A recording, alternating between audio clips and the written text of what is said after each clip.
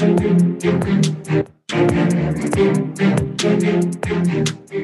wanted to save myself some time on post production. I know it's not much, but uh, that's why I did that. I prog- programmed our theme song into the podcast board. But I, I put the intro itself onto the video. So that means that now it'll be double music on there. So thank you for that. I'm sure I'll find a way. Okay, well, there's probably the raw file that I sent to you that has the logo and stuff without the music built into it that you could possibly still use. At this point in my life, I think we'll be good. I think we'll manage. It'll be good. You want to start again? Because no, just... I'm I'm good. We're good. I got my no, edit, um, no edits. There's no, there's definitely no edits tonight. I don't. So we're recording later than we normally do. Um, it, has been a long week. Uh, we're I don't normally drink on the podcast, but it is uh, the uh, XFL's 21st birthday uh, this week, and so we're doing the 21 run for the XFL. And so I got my Shiner box here. We'll open here. There you go. Oh, sounds like sounds like I'm on the Bruce Prichard podcast. Yeah. Well, the beer's opening on that podcast where we're doing it. I don't have a drink. I'm sorry, I can't okay. cheers you right now. It's been a long week for me too.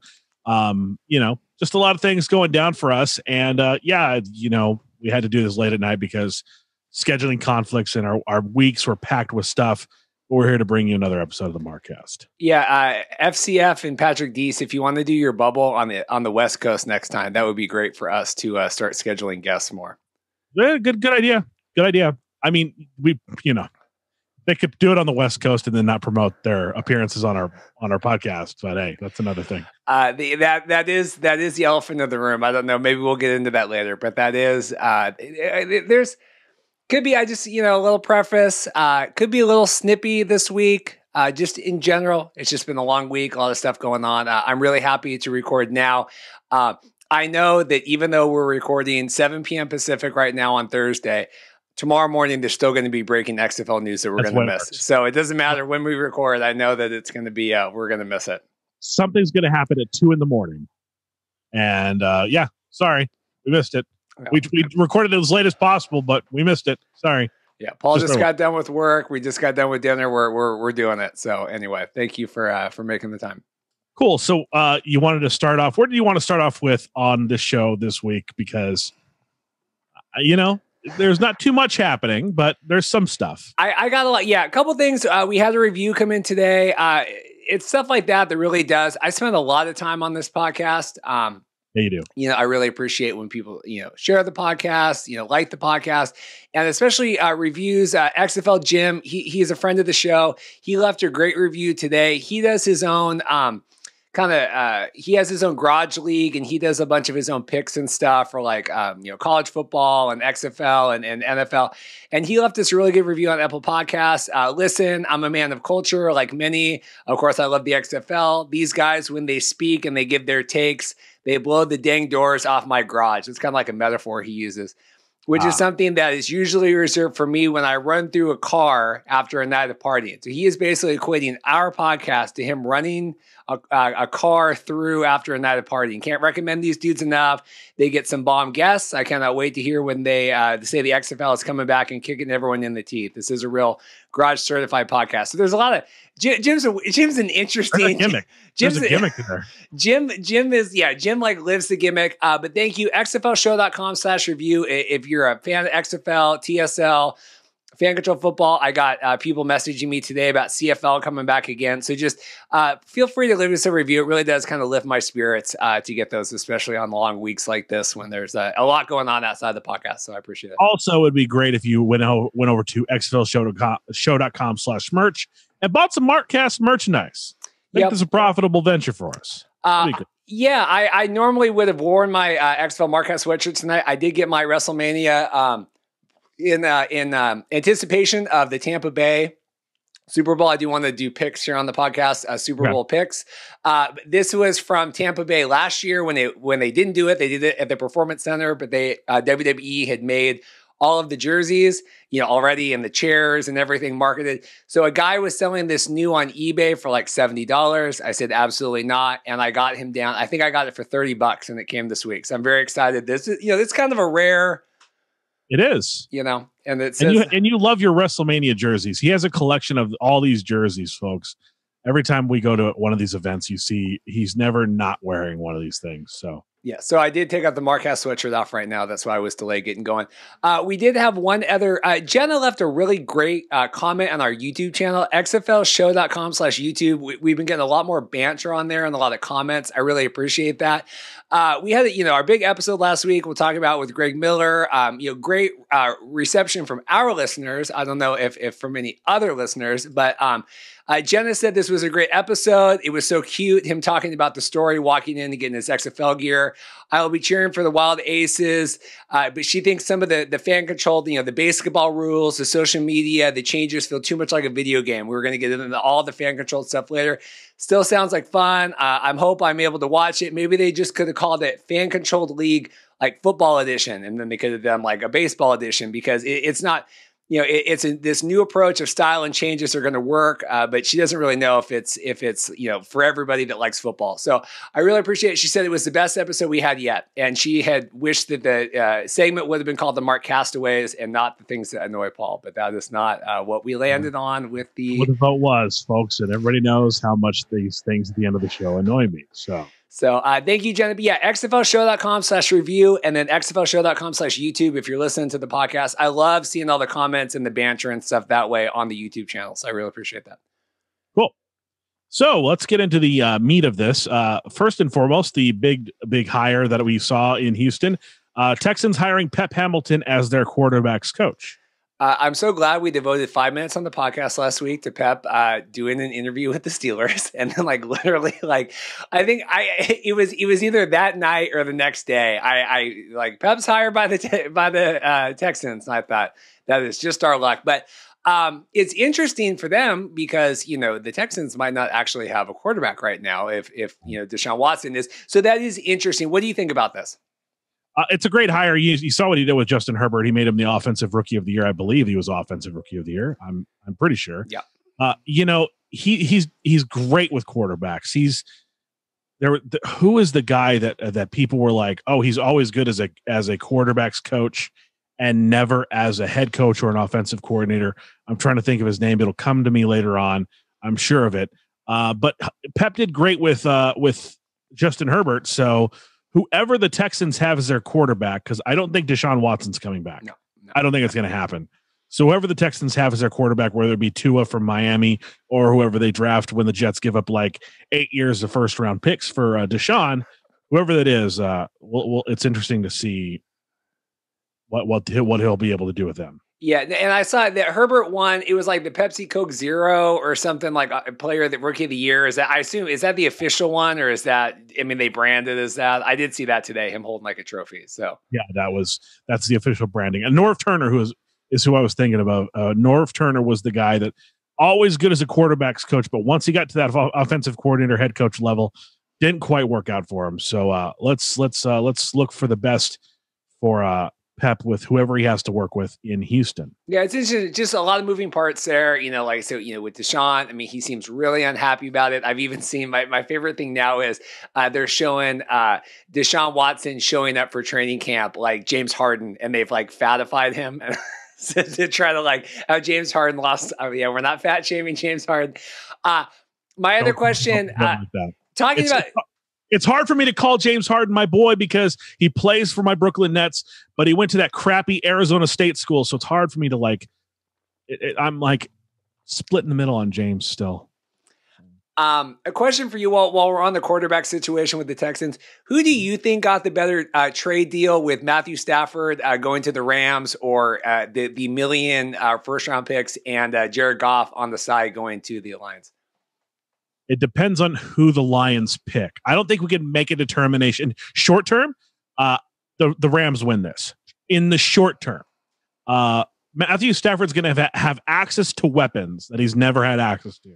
He's going to have an offensive line that he's never had in Detroit. They're going to do great things in LA, but Stafford is how old is Stafford now? What he's he's in his thirties now, right? He's Getting in the there. league like nine years, so what? I think he's yeah. like 33, 32, 33. Yeah, he's he's getting up there. So um, if Stafford is able to help the Rams, I would say I would honestly say if Stafford doesn't get the Rams at least to the NFC championship game next year, then this is this is going to go Detroit's way, depending on who the Detroit Lions pick up in the draft with all the picks they got from the Rams.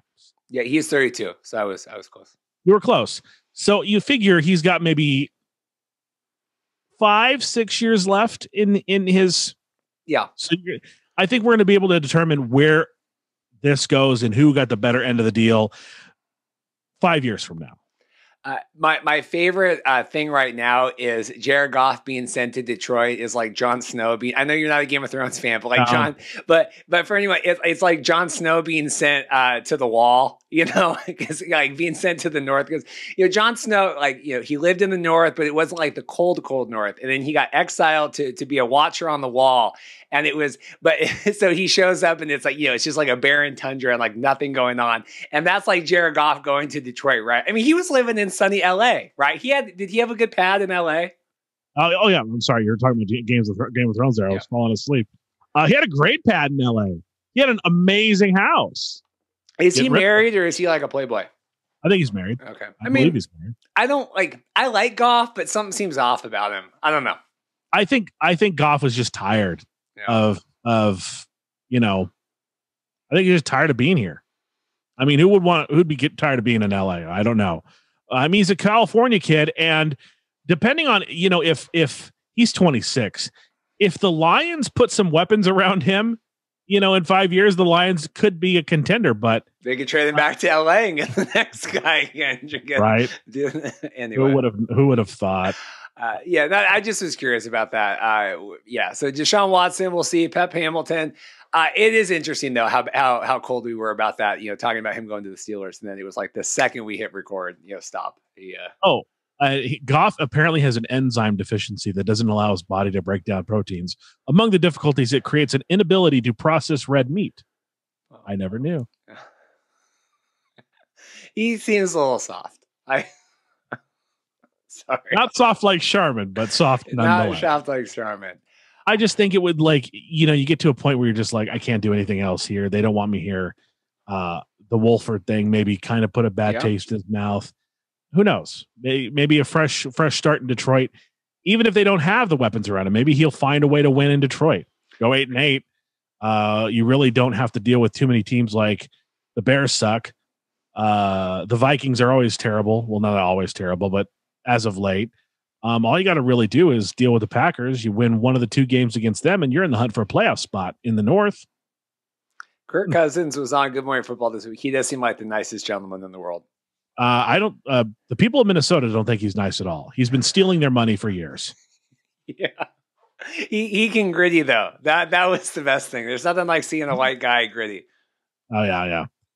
And of course, his time in Washington, where he's like, "Oh yeah, you like that." I remember that that meme for for years and years and years. Ah, heck, he and yeah, he and Philip Rivers are like the no cussing, the no cussing quarterbacks. Heck yeah, no cussing and intense quarterbacks. Yeah. So speaking of quarterbacks, Matt Rhule says there's nothing to add uh, regarding the uh, Panthers quarterback situation. Is that what Sheena Quick is saying? Just another update. You know, again, we keep an eye on the Panthers just because our boy PJ and it you know, they got the eighth uh, uh, seat or eighth pick coming up in the draft, and uh, he just Matt Rhule had nothing else to add. It just seems like you know I don't know if Teddy's going to be long for the world. They're going to maybe bring in someone, get the you know the second year out of Teddy, and then maybe move to someone else.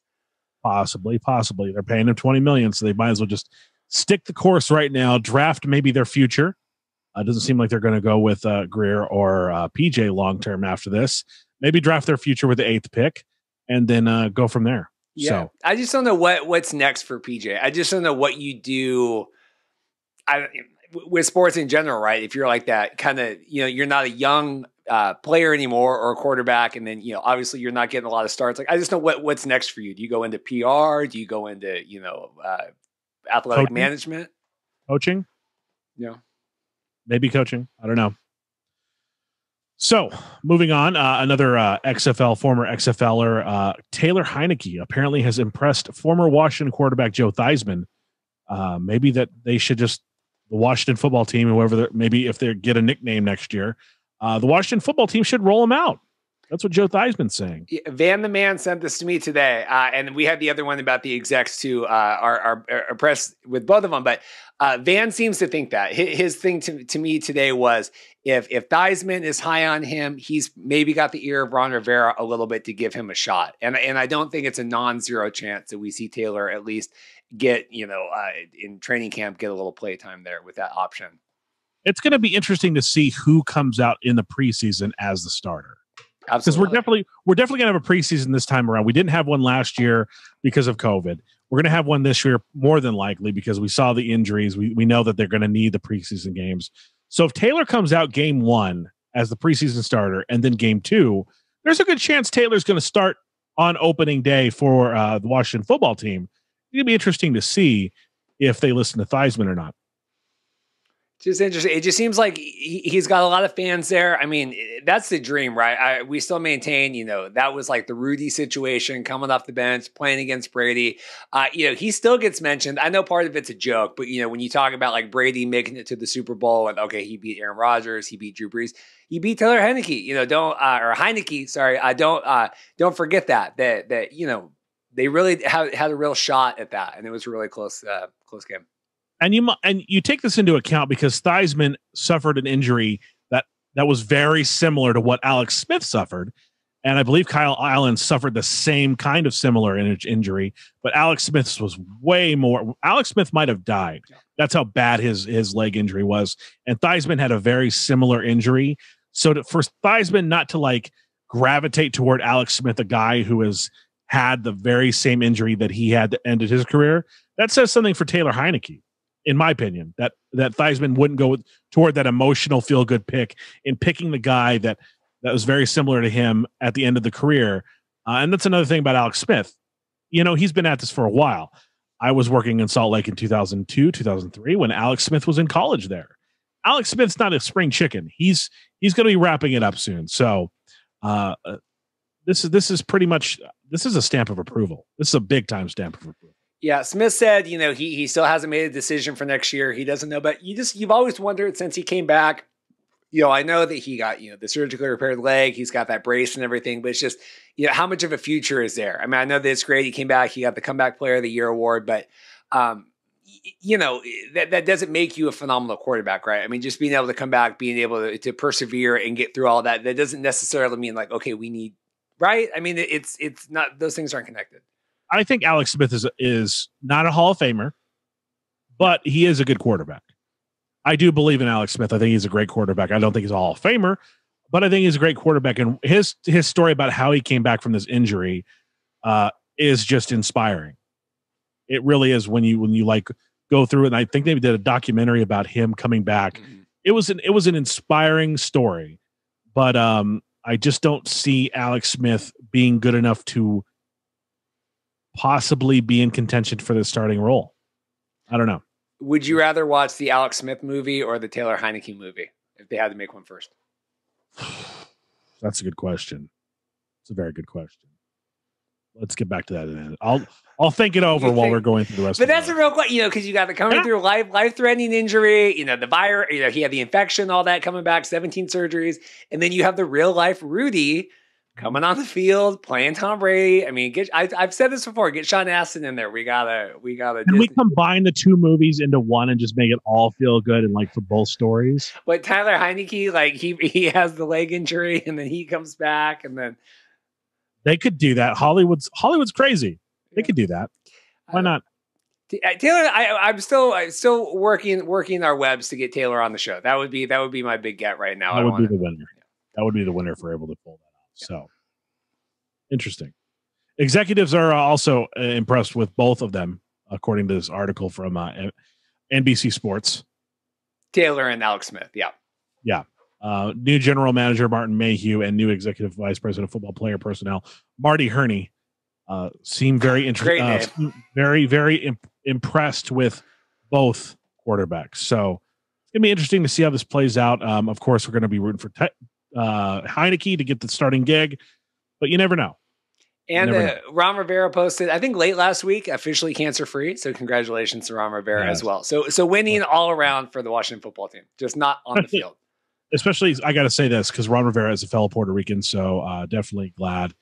Uh, also on that front that he did beat cancer because I like to see my fellow Puerto Ricans win, win in life. That's good. I'm going there. Yeah, why not? So, do you want to talk about this football, this Team Nine football? Yeah, let's talk about this. Uh, what? I didn't even know this thing existed. So this I'm just telling you this right now. If you guys, if you're, uh, I'm not going to buy this, but if you're if you're a merch person, DM me on on Twitter, XFL Mark. I'll send you the link to this. It's basically you know all the XFL teams this year. You know, like the Dragons, you know, like they have their ball right, like, you know, the green and whatever, and like the roughnecks and all this other stuff. So the team nine ball, or the team nine, that was like the backup team. There were the, uh, basically, it was supposed to be like if someone got hurt, all these other players were conditioned with all the new uh, rules and everything. So you could like transition someone in right away. They had their own ball and it, it wasn't branded. It was just like an XFL, um, it's, it was just like the blue, the XFL color blue. Uh, but it was basically like a league ball that wasn't a team ball. And then when the league went bankrupt, they like took all these and they they they all went away. But uh, apparently, the company that's selling them that is the company that made them, so they are like official. Um, okay. I was talking with Van about it. Of course, Van he's the merch guy had worked a lot with the league before about trying to get some other uh, merchandising deals and stuff going. Uh, but but they're they're legit. They're official. They look really cool. I think it's 125, so it's like the price of a ball. But I know a lot of people want the game balls. They're sold out a lot. They have like their the mini replica ones. I think still a couple of them are available. But if you want a league ball uh, that's that's like not branded at all, it's just XFL. It's official one uh, with all the the grips and all that stuff. It's uh, send me DM. I'll send you the link. But it's cool it definitely was. I saw it. I was like, wow, that's interesting. That's that'd be an interesting kind of uh, niche uh, memorabilia to have in your collection, and you know, it'd be a conversation starter for sure. Dorothy, I'm not going to buy it. Don't worry. But I already I have my ball. I have my ball. I don't need another one. I have a Dragon's ball. But it is interesting. If you wanted the ball, that is, you could go get that. Uh, moving on to more XFL news. Of course, the uh, Oliver Luck McMahon saga continues. Uh, the dueling lawsuits. I'm reading more of this here where they're talking about how uh, apparently Luck used his personal, or used the XFL issued iPhone for personal matters, and he relocated to Indiana. I didn't know this was a thing that he did, which was far away from the uh, the headquarters in Connecticut, and he did this when the pandemic struck. Yeah, that was a big. T- uh, sticking point that Vince has always said is that he thought back in like March and April, you know, during all that, that luck wasn't there. And and Vince is a, you know, very much values loyalty and the team and WWE and you know, it's ride or die, damn it, and you're with us. And that that Oliver, he felt like Oliver kind of fled, but you know, would make sense, right? Like Oliver wanted to get home to his family. I mean, you yeah. you definitely get I, I say I side with Oliver more on that. What say you? Well, you know, you have to realize you hear stories from like Bruce Prichard and Jim Cornette and Vince Russo about how intense Vince is when it comes to having people around him when it comes to WWE matters. Like he wants you in Stamford. If you're if you're a lonely writer, he wants to be able to have you there at any time. Three in the morning, he's going to call you. He's going to bother you about something. These are all stories we've known for years. And knowing how much how passionate he was about the XFL, and I, I, I dare say this, I'm not sure. I can't say this definitively, but the optics would appear as though Vince cared more about the XFL the last year than he did WWE. Is that a fair assumption to make? So if if that were the case in a hypothetical situation that he cared more about the XFL, it would be a bad sign for Oliver just to go, I'm going to go back to Indiana and be with my family during COVID. It would be a bad sign to Vince, not necessarily a bad sign to all of us that think, well, he wants to be around his family, like you pointed out. Uh, but that seems to be kind of an issue that Vince is taking is that he feels feels Oliver Luck just went flew the coop. Yeah, this would always would kill me so much about this and Vince shuttering the league so quick. Excuse me, I'm going to burp here, and all that kind of stuff is you know, this really was his last gung ho at this league. You know, we're going to talk here. Uh, you know, it's the 21st birthday of the XFL this week. You know, they were they were announced, and then the, the, game was a year later. So the game played, you know, 20 years ago. The league was announced a year before that. But you know, the fact that you know, it, he put all this money and time that this was his last, that, you know, it was his one failure. And they always said that NBC or uh, it was uh, ESPN did like the 30 for 30 on the XFL failure. And that was really what like ticked Vince off and was like, all right, damn it, I'm going to come back. I'm going to do this again, you know, to prove because there's nothing in his life that Vince wasn't successful at, right? You know, took over his dad's business. You know, people that don't know, you know, Vince's dad, uh, Vincent, you know, senior w- was in the wrestling. Uh, wrestling back then used to be way more territorial. So you would have like the Northwest and the Northeast and the South and Florida was a thing. And then Vince came in and uh, basically expanded and took over all of that and turned, you know, what is now WWE, you know, turned it from this regional thing where, you know, it was just these local shows into this national and now, you know, it's international. And it, it, it's explosive. So the point is, Vince has never failed at anything except except the XFL, and so the fact that he went all in again, you know, two years ago, and then now, I just will never understand why he pulled the plug so quick. Uh, neither will I. Uh, I think he should have stayed around. Um, there's there was plenty of money to be there was plenty of money to go back into it and stay into it. Um, it's a good it's going to be a good question that I think that we'll never have answered. So Former Tampa Bay OC uh, offensive coordinator for the Vipers, uh, Jaime Elizondo, has been named the head coach for Edmonton football team up uh, north in the uh, Canadian Football League. Yeah, good for him. Uh, it's always good to see former XFL guys. You know, Pep Hamilton, we just talked about. Uh, he's going up to the CFL. We're going to be doing um, CFL uh, coverage here. I, I, would imagine, depending on how the news goes, we'll get into talking about XFL timeline stuff again. But uh, yeah, good for him. Uh, going to be a, a, head coach. That's I I would imagine that would be a jump to go from a XFL, you know, be considered the jump to go to a, a CFL head coaching gig.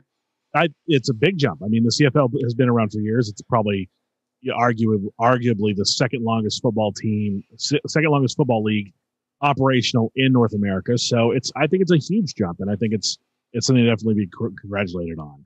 And uh, as we mentioned numerous times, it is the 21st birthday of the original XFL, so it can now have a drink. Are you drinking still? You slow down a little? Bit? I got my my shiner. Um, that was always the thing. That was the big complaint. You know, Vince announced it. Uh, I believe February 2nd, you know, 2000, and it was February 3rd, 2001. They played the first game. And uh, they always, people always thought that that one year turnaround was way too quick to try to get the players in and the teams and the practice and all that stuff. And so then when Vince came back in, uh, you know, 90 or uh, 2019, you know, it's okay, XFL is going to be coming back. Um, or I guess it would be 18 to 2020. My years are always screwed up. And then, um, you know, people thought, okay, good, they're going to give him two years. We're going to have all this time, whatever. Well, now I know last week we talked on the podcast, okay, timelines don't matter. You know, they did it last year, they did it this year. We are now very much at a year out from the XFL stuff. And I don't want to be the guys that are boohooing and um, talking timelines all the time. But the fact that we still, it's Thursday night now, you know, we're at Super Bowl and then football kind of goes away. I know we have fan control football, but football kind of goes away after the Super Bowl. What do you think that we still don't have news at all? Uh, I think that. Well, I think that, that there's a definite issue with the uh, logos that's going on with Roughnecks logos from the Patriots and the Oilers issues. I think that's kind of being squared away. That's one thing they got going on. They still haven't filled that position, to my knowledge, that we saw the other day. That the chief of football operations or whatever it was called. Um, that's another thing that that I don't think they filled. So maybe those two things together um, are the reason why it's not going. Um, I, I couldn't speculate. I'd love to find out. Maybe we, maybe there's some kind of person we can contact. Maybe you have a contact that you can reach out and maybe get some answers on that. It just, maybe. yeah, I just, I know people are worried. Zach, one of our listeners, we were messaging today again. Uh, people are getting really worried. They're getting really worried. You know, a couple weeks ago, I said, don't worry about it. Then another week goes by, another week goes by. At some point, we are, you know, presumably a year out, and it is time to be concerned. I think it's I think also we need to take something else into account that there's a stupid pandemic that's still going on because people don't want to wear masks. Yeah. That's the thing. So with that being said, we're going to take a quick break, uh, dip into our commercial commercial situation with our distributor. We'll be right back with uh, fan control football news and a little bit of spring uh, spring we got league. Spring league. We got spring league. Cool.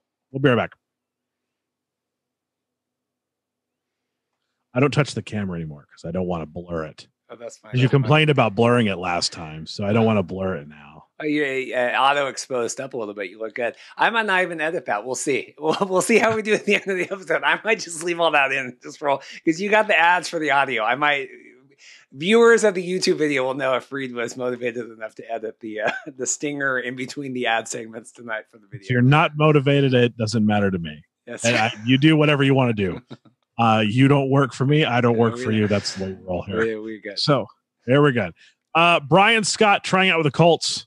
Good. This is this is big. This is good. We got a couple TSL things here. Uh, you know, uh, I, I emailed Brian this week. I said, uh, love some news right now. and so I didn't hear back. I, I presume nothing's going on right now. Uh, Brian Scott on his Instagram uh, had the snowy plains of uh, Indianapolis. Where are the Colts? Indianapolis? Indiana, yes. Indiana. And uh, yeah, I messaged him on, uh, you know, we talked on Twitter. He said things are going well there. He's still there. He says it's been a long tryout process, but uh, Godspeed for Brian Scott. I, I know that, you know, we obviously, a friend of the show here, has been on the show, MVP of the Spring League last year.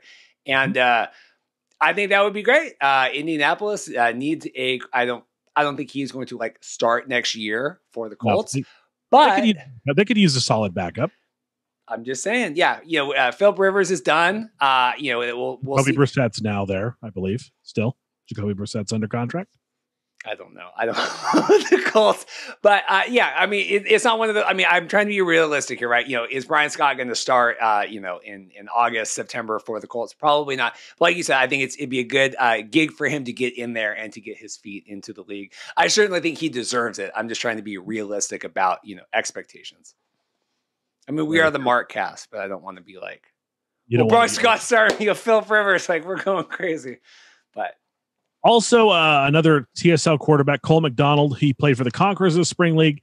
Uh, he's being signed to the Arizona Cardinals. This is big. This is big. This is the, the first official Spring League NFL signing this year. We've had a bunch of guys jump to the spring uh, to the CFL. We've had some guys go to fan control football.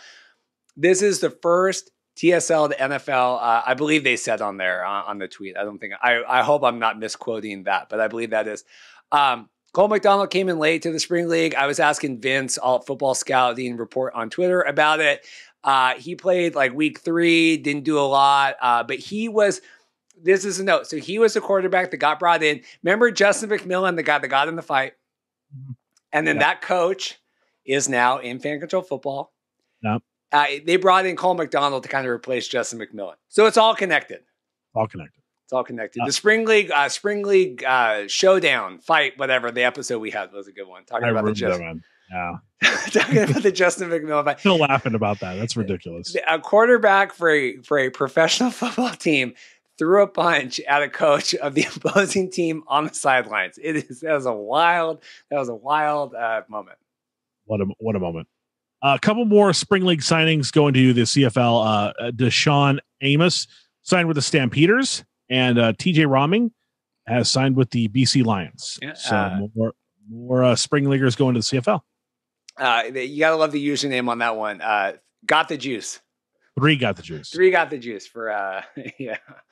TJ. Rolling. Uh, but no, but you know, spring league, like I said, we're, we're waiting for news coming back about that too, because it, we're just getting to that timeline where I would imagine in the in the March April, um, I would I would expect to see another uh, bubble season, hopefully.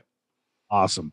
Uh, let's move on to fan control football. We don't have to take a break quite yet. We're not going to, you know, break after like three minutes here for our audio podcast listeners. Uh, so let's get right back, back into fan controlled football. Where's your jersey? No one's mentioned this yet. I just wanted to say this: the the, the league starts next week. The draft is on the tenth. The first game's on the thirteenth.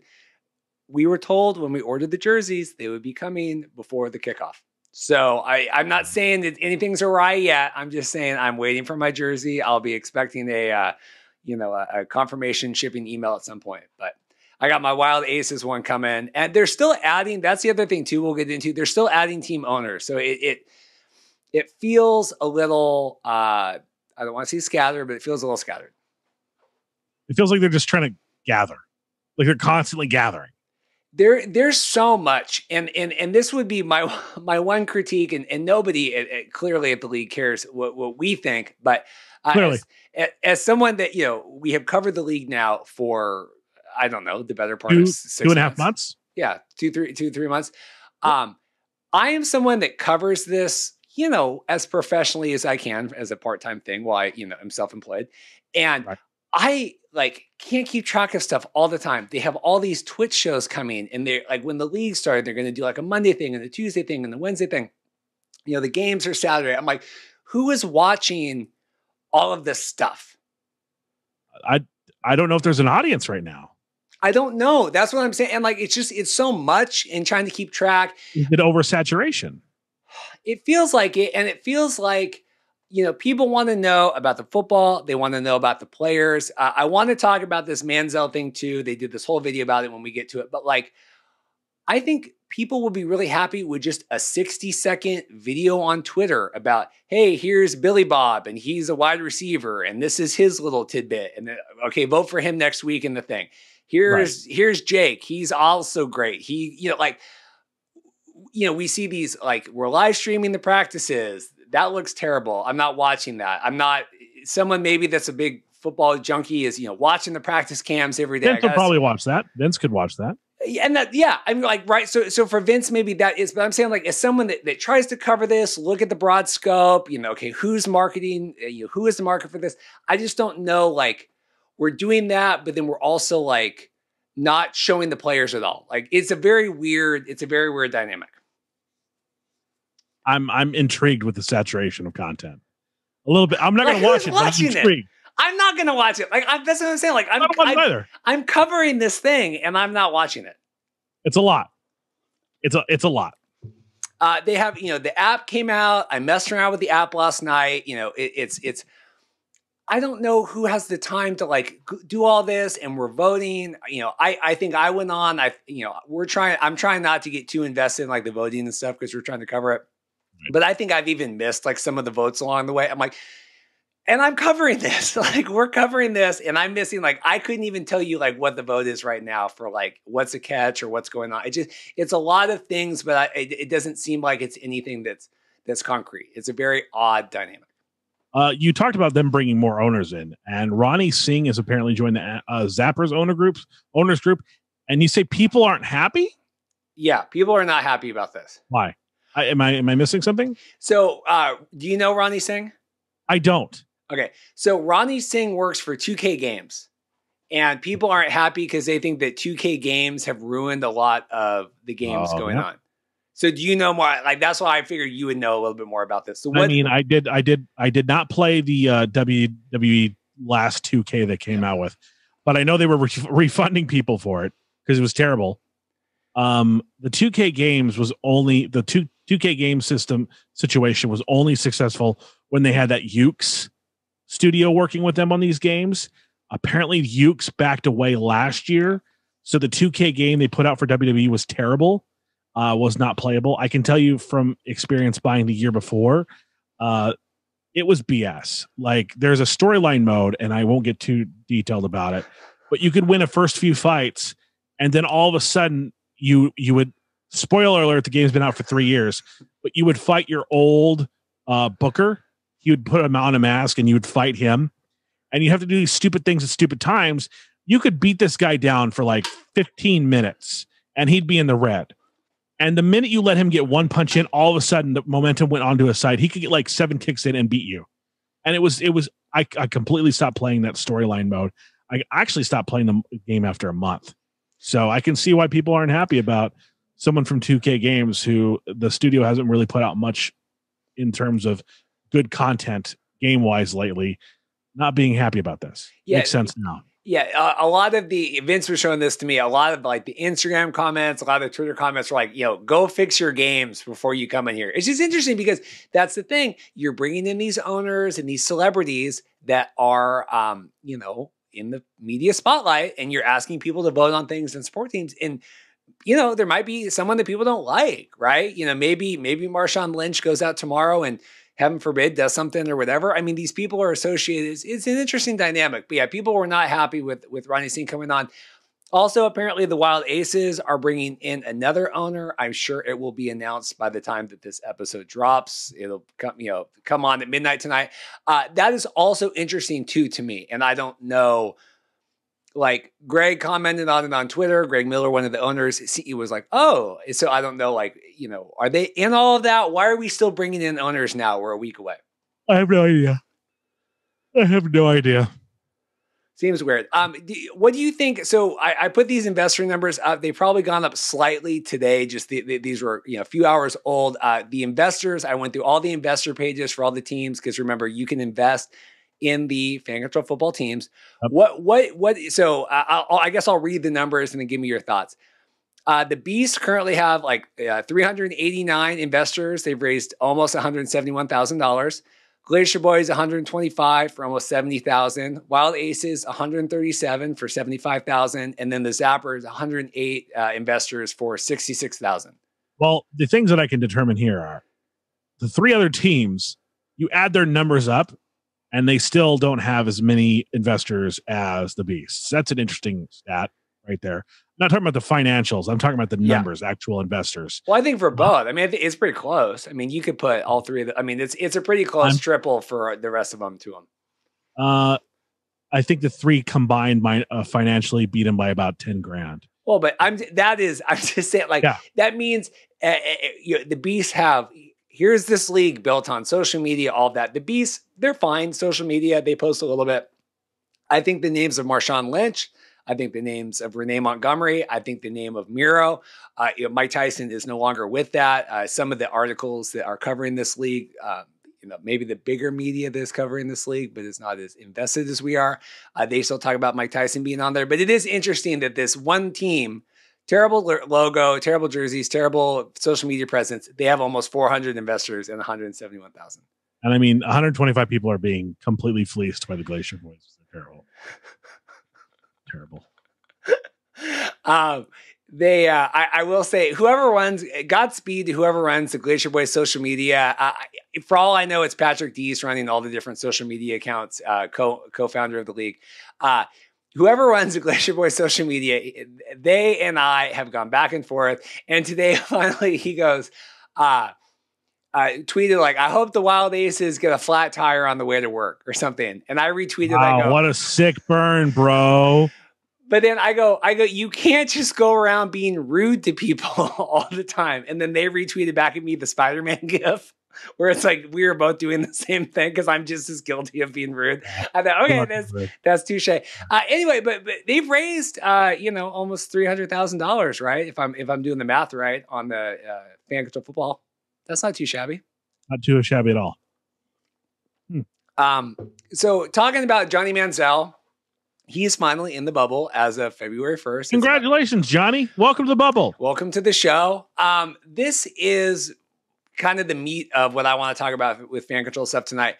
What do you think about Manziel finally coming into the bubble? We are uh, I think three weeks of the bubble now, two weeks of, of practice, and now he has come in for the last two weeks. He's still in quarantine, I would imagine, right now, having come in on, on Monday. What do you think about him coming in now with a week to go? I have concerns about chemistry. I have concerns that other players are going to resent him for showing up whenever he wants to. I have concerns about this. I have concerns that the league is building him as the one and only star that they'll have. I have concerns. I have concerns. Uh, they released the player uh, rankings. Uh, Let me guess. Manziel's number one. Yeah, Manziel's number one for the QBs, uh, which is interesting because he hasn't played at all. You know, Jerdy, uh, Jerdy, friend of the show, uh, Jerdy uh, uh, Erdman is number four. Um, what's interesting to me is, uh, was it Bleacher? Uh, what? Hang on, let me get this video up here. Uh, Bleacher, yeah, Bleacher Report posted this whole video. It's got 72,000 views on theirs, and that's being retweeted a bunch. Uh, basically, uh, about a month ago, um, Johnny Manziel went down to Arizona with Ray Austin and did this whole like social media shoot and all this. We saw photos of it. And if you watch this video, it's like man, it's like, man, it feels good to be back. And like, you know, I like getting hit. I want to get hit. It feels good to do all this stuff and it's it's you know it's a very cinematic uh, video. Whoever shot it doesn't know how to color grade the footage. It's it's a you know. Oh yeah. Paul and I are both uh, uh, you know professional videographers, and it is frustrating when people uh, shoot things uh, in a format and they don't know how to properly you know edit them for broadcast. Uh, but but but it's a really good video. It's talking about you know Manziel coming back and he's hmm. driving down the road and they're with him and he's on the field and he's talking to guys and all this. And you and, and even one of the owners goes, Oh yeah, you know, when I get him a month in the bubble, I'm really gonna, you know, really gonna whip him into shape. I'm like, well, first off, you're gonna get him for a week in the bubble. Uh, and second off, there is um, I, I, tweeted uh, all uh, Vince and Fan Control Football News. I said, how many players are currently signed to Fan Control Football? And they said, well, probably 110 to 120. Why are there not 110 or 120 other videos of all these guys like this? That's what I'm saying. If you're going to do all that work for Manziel, Johnny's the star. They're letting you know it's Johnny and then everyone else. That's a. Eh, I mean, we got to be critical of this. Yeah, we do. Sorry. So that's what that's the message it's sending to me. If he walks in the first week and throws five picks because he hasn't played in in two years, that'd be interesting. That'd be funny. Uh, they're uh, I believe they're playing uh, they're playing the Beast the first week, and so Vince had said uh, we need to make sure the Beasts have the best defense that first week to really slam it down uh, Johnny's throat. Okay. Know, it's I'd just like interesting. I just, you know, I, I, like to be an advocate for the players. I know a lot of people that cover the league, you know, all this other stuff's going on. They want to be advocates for the players. And I really wish a lot of these other guys that were sweating every day down there right now, you know, in Atlanta, in the bubble, doing the stuff on, uh, you know, doing the stuff on Twitter and doing the stuff on Twitch and staying in the hotel rooms and, and doing all this stuff, doing the workouts in the hotel rooms, in quarantine, all this stuff. I just wish they were getting that same publicity that Johnny got with the, you know, with like the Bleacher Report and with all this other stuff. It's just, I, I just wish that it's, it's the same thing with, I was talking to Dorothy about this with like WWE and Vince McMahon and let's go back to the stars again. Let's bring back The Undertaker. Let's bring back whoever. And you could build, you could have built 15, 20 guys in the time in the last three weeks if you wanted to, right? Look at Jerdy. Jerdy, Jerdy's huge. We've had him on the show. He's been on a lot of shows. Uh, Slick Nick's another one. I think he wants to come on the show. He's a big kind of Marshawn looking guy, did a big backflip. You know, we've got a glimmer of a couple of these guys, but you really could have built him up if you wanted to, as opposed to building uh, new sets for Twitch shows that I don't know if people are going to watch. Uh, I'm I'm confused. I, I'm befuddled. I just wish I I wish I could process this fast enough. I don't I don't know what what's going on. It feels like there's things being like they're they're trying to you know the old adage that WCW was run by a television company putting on a mm-hmm. wrestling show as opposed to WWE being a wrestling show putting on a t- TV program. You know that how they said that about the failure of WCW as opposed to WWE. This seems like it's a Twitch gaming channel trying to put on a football league as opposed to a football league adding shows, if that makes sense. Yeah. Uh, the other interesting thing is they announced this week, uh, Josh Davis ran with it that um, after this first season, the, the plan is to have eight teams and they're going to go three months on, three months off, three months on, three months off. And uh, if you think about that, which first off, I would, again, I would get through a season I know, yeah. I know, I know we have a million ideas. I know, I know, I know it's like these millennials and, and we're a little bit older. Like I know it's like I got a million ideas, like we're going with it. I would get through a season, but that that would put uh, th- their next season in August.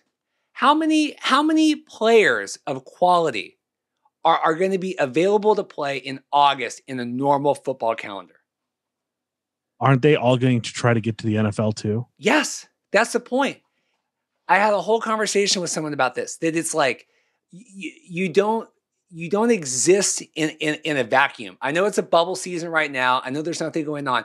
Again, we've talked about this. If XFL was going on, you know, we would still be covering this in a much more you know minority part.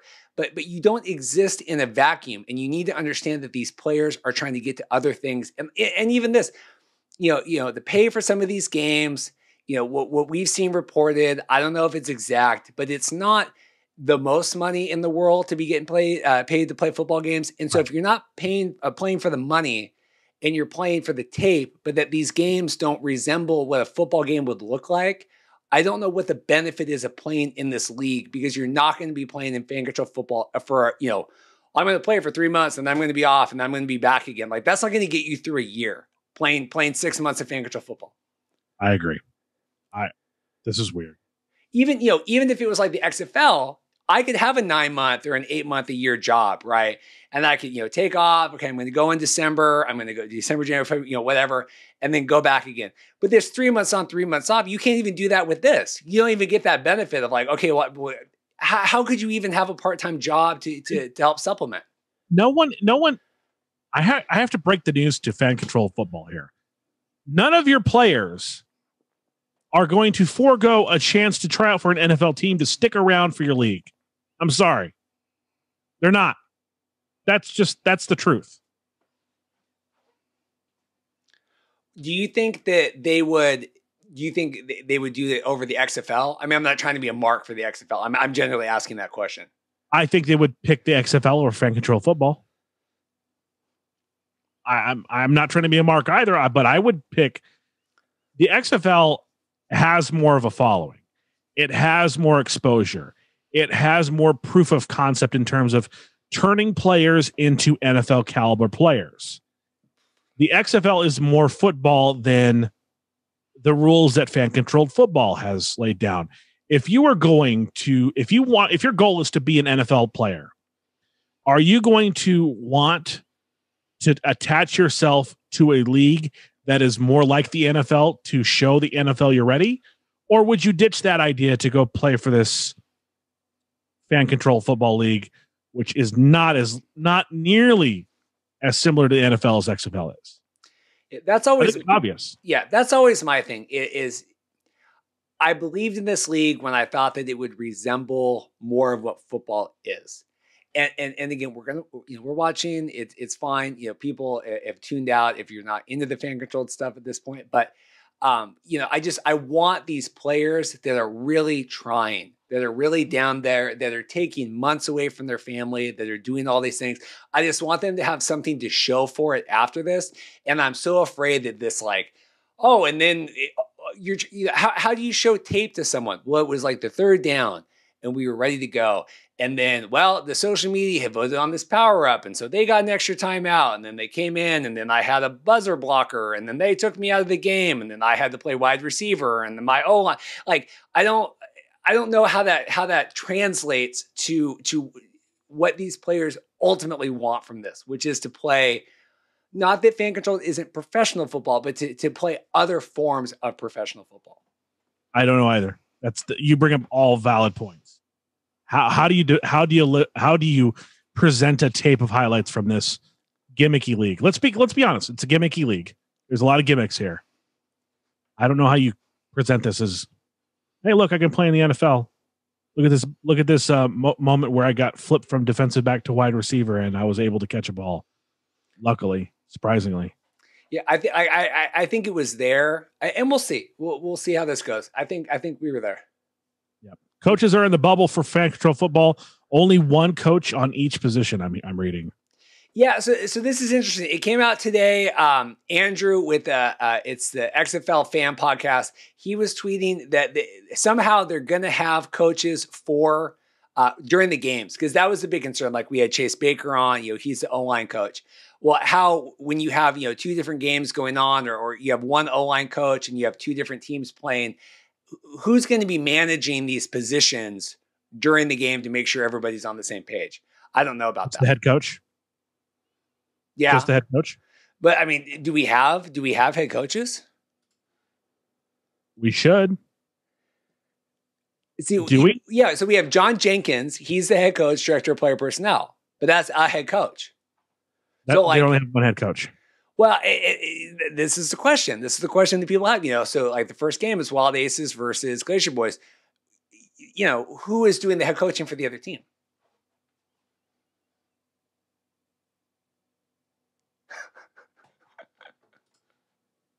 I don't know. Yeah. I don't know. It's interesting. I have no idea. Uh, they're they're voting right now on what a catch is. I think that's an, that's the latest vote on here. Uh, if, if a ball hits the ground or not when it's uh, when it's fielded. And then the last thing I had for fan controlled, oh, they got the field down. They got the field down. It looks like the stadium does look really cool. It looks really cool. They built this whole like it looks like yeah. a, looks like a WWE set. It's like a Titantron. There's smoke. There's a ramp coming down. They've got the. I mean, the field looks good. It's weird. I don't watch a lot of arena football, so it is kind of weird to see like a fifty a fifty yard field. Uh, but it does it does look cool. I think I think it's top notch dollars and production value behind this. I just don't know what the um, what the and top notch money behind Johnny Manziel promo videos too. Yeah, you got to wonder what Manziel's getting paid versus the rest of these guys. Mm-hmm. Another question. No, sorry, I I'm very skeptical. They just seem to be like focusing on one guy and then everyone else is is just chop liver. Yeah, it's interesting. So we're going to take one more break, come back and uh, fill out the rest of our show. I'm excited about this because I was a big fan back in the day. So we're gonna break, we're gonna come back and I'm gonna talk about this because I'm just I'm I'm through the roof excited on this. Believe it or not. We're not even gonna take a break. There we go. We're back in. we're going. And we're going. Um, I'm excited because EA Sports is bringing back college football. This was uh, overwhelmed my social media like nothing I've ever seen. Yeah. People are very hyped. Yeah, it was it was hands down like when they got to a point where they were integrating college football, you'd export the file and you pick up the new copy of Madden and you'd import the file like you built a player in college and you you took him to national championship, got all his his his attributes up to a great level and you're like, I'm done after 4 years, what can I do with this player now? You actually were able to export this player to Madden and continue I think his, that's awesome. That's I think that's the coolest thing and that was so awesome that you could like say oh you know I, I built this player from scratch and after four years i can't use him anymore. And then you could go take him to a new video game and use him even longer. It, it was so interesting. Uh, we have my friend frank coming on wheelhouse this week. Uh, we kind of ambushed him. It was a great uh, little segment there we have with him. But frank and i used to play this game all the time all the time. Uh, we were addicted to it to where we built our own colleges. You could build your own colleges. Um, you could set your college like a juggernaut or you know middle of the road and you know win the national championship move yourself into a conference move another team out. For example i would move myself into the pac pac 10 at the time and move arizona state out. It was really fun. This is a really cool thing that they're doing. And of course the reason why they had to pull uh, these kinds of games off the shelf was because there was a lawsuit filed where you pick up basically what what happened was we would pick up the game uh, the ncaa football game and you put it in and you'd you'd see not player names, but for example, I know this because I used to play with Arizona a lot. You'd see quarterback number seven. And you and knew who that was. You'd see a height and a weight and a hometown. And you go to Arizona's roster and you look up Willie Tuitama, who is number seven. The same height, the same weight, the same hometown that's in the NCAA football game. So, yeah. regardless of them giving the names to the actual players, they were using their physical attributes, they were using their physical likenesses to sell this game. So, Ed O'Bannon from UCLA saw this and went, wait, what the F? Got a band of athletes together and said, look, here's the deal. They are marketing our likenesses without paying us, one, and without naming us, they think they're getting away from out from not paying us um, you could go when I worked in Tucson. You could go to the uh, the the bookstore on in on the U of A campus. You go to the bookstore, and you could go buy a basketball jersey, Arizona basketball jersey, with the number forty three on it. No name on the back, just number forty three. You knew you were buying Jordan Hill's jersey, but because Jordan Hill's name wasn't on the back, you weren't really buying Jordan Hill's jersey. And he didn't get anything and he didn't get anything from it. Yeah. I was completely on the player's side. It sucks that we lost this game because this game was really fun. Yeah. And when it comes back, Reed, I'm telling you, you got to try it. It's you're gonna you're gonna love this game. Well, it's so funny. So they, they they, they announced, okay, we're bringing it back next gen consoles. You know, Xbox. I got my Series S. All that stuff just came out right now. It's still two three years away. Like they haven't even started on it. And it's like, man, we're going to be at the next consoles before this game even comes. It's just that's a long lead time for a video game. Three years. Well, I mean, they've got some of the framework down now. I mean, the not this year's Madden game, but the, I think they have the last year's Madden game. Uh, they have a, a mode where you have a guy that you create and you take him through the national championship and he plays for one of like six teams, like either it's Texas Tech or USC or Texas, one of these six schools. And after you're done playing the national championship as a backup, like the back the the main guy gets injured and you're the backup and you get to play your first college game is in the national championship playoff system. Is your name Taylor Heinicke? No, it's not. um, but they have this kind of system built into Madden a little bit, so you could tell they were kind of already flirting with bringing this game back.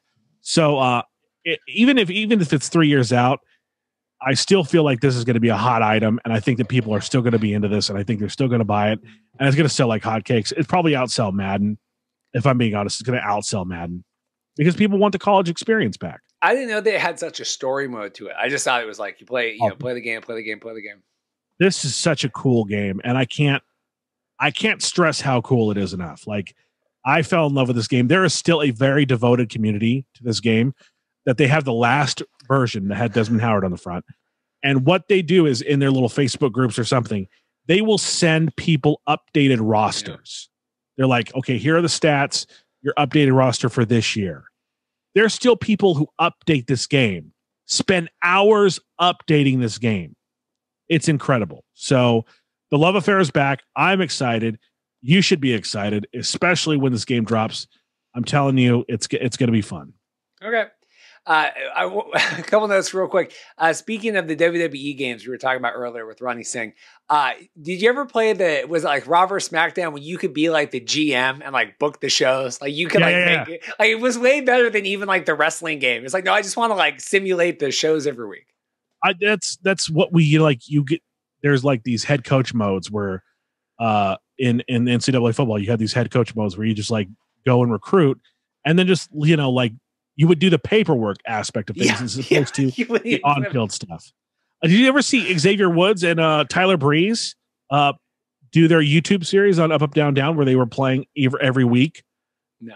One was the GM for Raw, one was the GM for SmackDown, and they booked their shows without the other one knowing. It, it's an interesting series. They were playing this mode specifically because of this how cool this mode was. It's cool. Remember I, when we were found out last week that like Tyler Breeze follows me on Twitter? Maybe he listens to the show. Maybe, maybe Tyler maybe. Breeze is an XFL Markcast fan. Wait, we can get him on the show. Yeah, that'd be great. Uh, the other quick note. Um, today, well, last night I downloaded it. Today, um, they have, uh, if you remember old school video games, you have the Tony Hawk, the N64. Uh, they they revamped them this year, so like you can play like the original Tony Hawk like Pro Skater game, but it's all like updated new graphics and everything. Uh, I was very excited. Forty dollars, you got uh, one and two.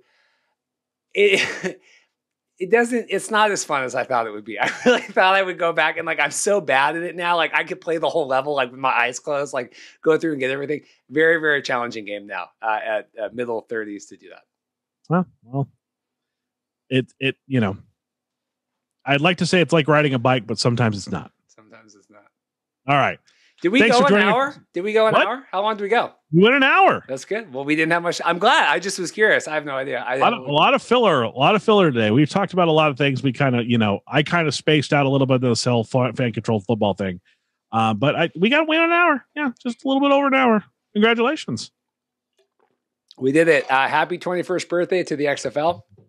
Yep. And uh, of course, oh xflshow.com slash review to leave us a review on our podcasts. And F- xflshow.com slash merch to buy some xfl markcast merch. Uh, one more thing we forgot to do. Uh, who are you taking in the super bowl? Who am i taking in the super bowl? I think the Bucs are going to win. Yeah i was thinking i was hoping we would like disagree. Yeah i think brady's nah, got I think, I think brady's going to do it. Yeah i got my tampa shirt on. Uh, no i'm I, not betting against tom anymore. I said tom wasn't going to make what i said they were going to make the nfc championship. I said that right and they made yeah. the NFC Championship and won it. So I'm not betting against Tom anymore. I'm done. I do think I do think uh, Patrick Mahomes is going to win though. I want Brady to win. I know um, he's questionable. Some things nowadays people don't like him, but it's really remarkable just to you know. Yeah. Make it, Age make it, wonder. you know, number 10. Did you know he's 43 years old? I have heard, I'm so tired for the Super Bowl to be done. Did you know that Matthew Stafford and uh, Clayton Kershaw were uh, teammates on a soccer team that was going on for last week on Twitter. Every five minutes, someone was mentioning their teammates as as as on soccer field, like when they were kids. I yeah, the the two weeks. I know there was no Pro Bowl this year, but the two weeks between the the NFC AFC Championship games and the Super Bowl, it is like really the longest. Like Good Morning Football was doing like fake cooking segments this week. I mean, they've really uh, they've really hit a wall. I did get retweeted by Nate Burleson though. That was the highlight of my. Week. It was Kung Lao hats. Yes. Yeah, I got to. Uh, but no, uh, I'm ready for the Super Bowl. But I am fearful that once the Super Bowl ends, we will not have any XFL back. Well, at least the Weeknd will perform at the Super Bowl. Yeah, did you know that? I knew that. Uh, still, I mean, I mean, he's going to perform at the Super Bowl, but didn't get one Grammy nomination. And that song's been out for a year now. That song came out a year ago. Yeah, it, it was, was, the song of the summer, and it was well, it was a WrestleMania theme song last WrestleMania. Yeah. yeah. And now he's performing. just, I'm like, that song has been out forever. Yeah. Yeah. Not one Grammy nomination though. No, no Grammy nomination. Anyway, I uh, happy XFL uh, birthday and uh, yeah. yeah. Cheers. And uh, thanks for listening again. We'll see you next week.